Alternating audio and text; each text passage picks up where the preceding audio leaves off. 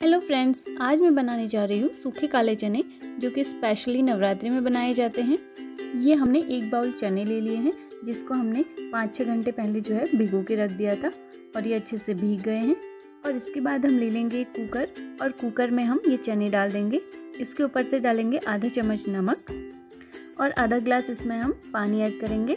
पानी हमें ज़्यादा नहीं डालना है, क्योंकि हमें सूखे चने बनाने हैं। कुकर में ढक्कन लगा के चार से पाँच विसल आने तक मीडियम फ्लेम पर पका लेंगे इसको हम। और ये हमने ले लिए हैं दो मीडियम साइज़ के टमाटर, जिसको हमें कट करके मिक्सिंग जार में डाल के ग्राइंड कर लेना है।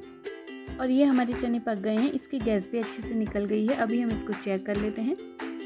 ये देखिए फ्रेंड्स, चने जो है बहुत अच्छे से पके हुए हैं। ये देखिए, एकदम अच्छे से मैश हो रहा है। इसके बाद एक कटोरी ले लेंगे, इसमें हम मसाला बनाएँगे, इसमें हम डाल देंगे आधा चम्मच नमक, आधा चम्मच हल्दी पाउडर एक चम्मच धनिया पाउडर, एक चम्मच जीरा पाउडर, एक चम्मच गरम मसाला और आधी चम्मच लाल मिर्च पाउडर। इसके बाद हमें पानी ले लेना है और इसको थोड़ा गाढ़ा सा घोल बना लेना है।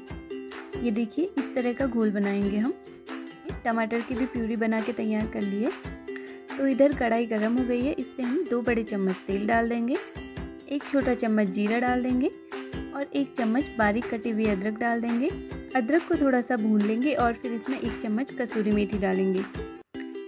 कसूरी मेथी भी थोड़ी सी फ्राई हो जाए, उसके बाद हम इसमें ये मसाले का घोल डाल देंगे। इसको हमें लगातार चलाते हुए लगभग दो मिनट तक पकाना है ताकि नीचे से लग ना जाए और ये तेल छूट जाए। इसके बाद हम इसमें डालेंगे टमाटर की प्यूरी। इसको भी हमें चलाते रहना है फुल फ्लेम पर और तब तक पकाना है जब तक कि किनारों से तेल अलग ना हो जाए। ये देखिए, मसाला अच्छे से पक गया है। अभी हम इसमें चने डाल देंगे। ये देखिए, चने में सिर्फ़ इतना सा पानी बचा है। आप चाहें तो इसको इसी में ऐड कर सकते हैं और चाहें तो हटा सकते हैं। तो अभी हम इसको मिक्स कर लेंगे और पाँच से सात मिनट तक इसे लो फ्लेम पर पकने देंगे। और ये देखिए, पाँच मिनट बाद चने में मसाला अच्छे से घुल गया है। तो ये बनकर तैयार हो गए हैं। इसमें बिल्कुल भी पानी नहीं है। अभी हम इसमें डाल देंगे धनिया पत्ता।